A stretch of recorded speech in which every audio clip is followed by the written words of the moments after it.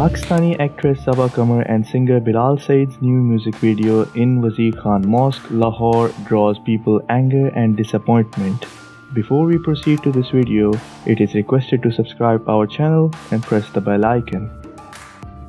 Social media users slammed Pakistani actress Saba Qamar and singer Bilal Saeed for allegedly dancing and filming a new song in the historical mosque the video instantly went viral and both the singer and the actress were strongly criticized by the fans and followers from social and religious circles for promoting indecency in the mosque.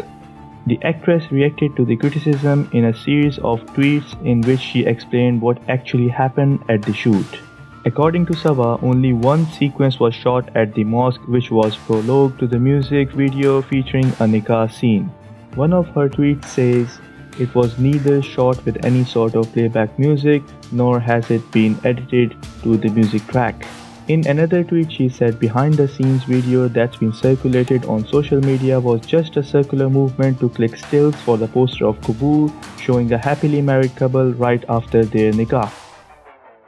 For latest gigs, updates and development news in Saudi Arabia, subscribe Riyadh Xpress YouTube channel and follow us on Facebook.